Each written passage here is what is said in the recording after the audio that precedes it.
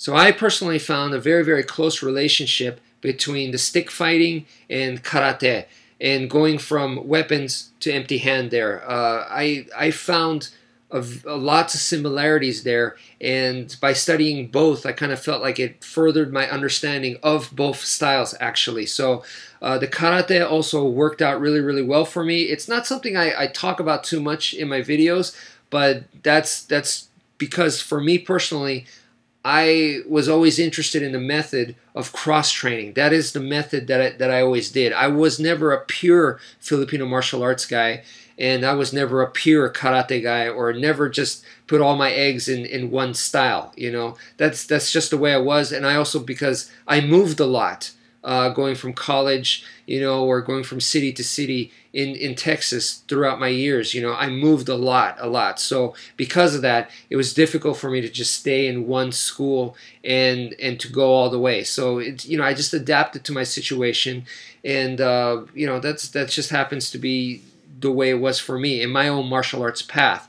The other thing is, um, yes, in my videos, I recommend a lot of uh, Western boxing to go along with the stick fighting stuff. Um, it's not that I think that it it's more important than Filipino boxing, like Panantukan and, and those kinds of stuff. My exposure to that was very, very limited. Uh, I, I only got to see a little bit of that through the JKD stuff that I studied.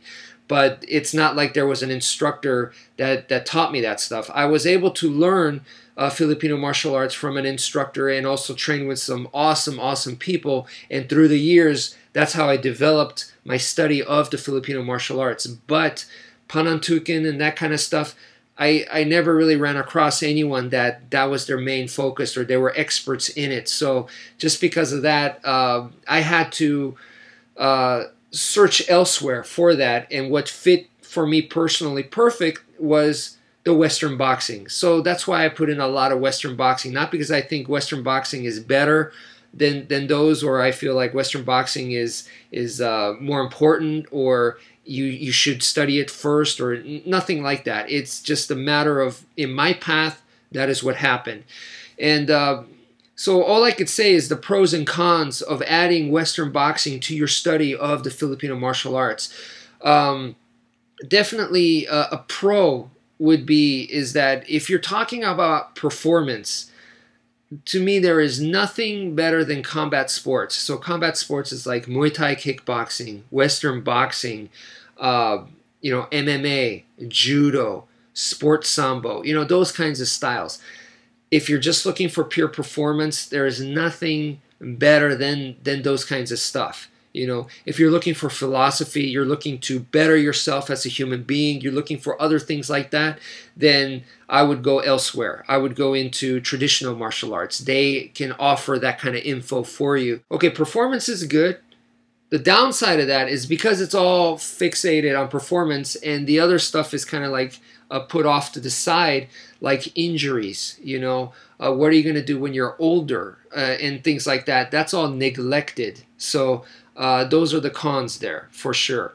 Uh, especially brain damage. You, you don't want brain damage or organ damage, all kinds of micro damage. Uh, uh, another positive aspect of studying the Western boxing and adding it to your uh, stick fighting, your Filipino martial arts, I believe, is that with Western boxing, it is a solid, good way to measure yourself when you go, How good am I? All right with the sticks, you're training with the sticks and stuff. It's very, very difficult to know how good you are. In fact, I don't think it's it's really possible. Okay, um, everyone tends to think that they're better than they really are, and you you could be going, you know, I feel like I'm getting smoother in my moves. I feel like I'm I'm uh, you know a lot more comfortable with this technique, and yeah, okay, I'm pretty badass.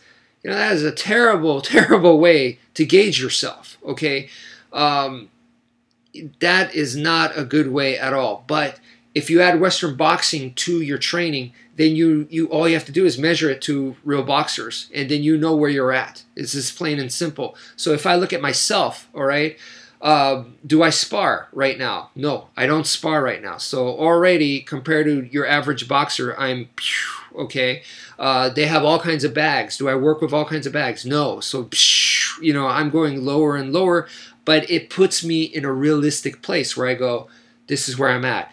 And then, I mean, like the training regimen, you know, a boxer is going to run miles every day. Okay, how many miles do I run a day? So I could, you know, so I'll know where I'm at. You know what I mean? How many uh, crunches and sit ups do I do?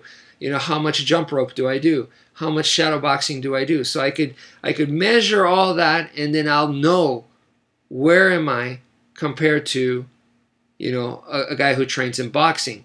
As far as compete wise, I don't even compete. So you could not compare me to any kind of champion because obviously I don't even compete. I'm not even ranked, you know, so I'm way below that. Okay. So I'm just talking about people who train in boxing. I, I'm still very, very low, but at least it puts me in a realistic perspective without I'm not putting myself down. It may sound like I'm putting myself down, but I'm just I just want a real, the truth, real perspective you know, without having to find that out in the street and getting my ass kicked and go, wait a minute, I thought I was pretty good. You know what I mean? So boxing, Western boxing gives you that. It gives you that. Thai boxing will give you that.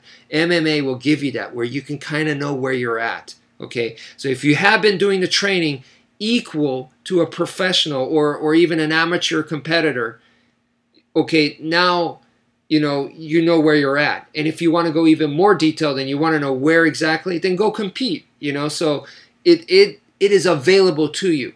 The problem with a lot of traditional martial arts is info is great. As far as information wise no other styles have as much technique knowledge tradition and information available as a traditional martial art. But the problem is we have an eighth degree black belt over here sixth degree black belt fourth degree black belt. Who's better the person who thinks that the eighth degree black belt is going to beat the sixth degree black belt and the sixth degree black belt is going to beat the fourth degree black belt this is a very ignorant way of thinking because up after a certain level it's politics okay? It's not ability. So you, you can't that's no way to judge by that. So the only way you got in a traditional martial arts is through demonstration really because you know and then in demonstration uh, you know that that's the same as watching a movie. So you really have no way to measure. So once again that's why i, I do highly recommend uh, doing something like western boxing and adding that to your stick fighting.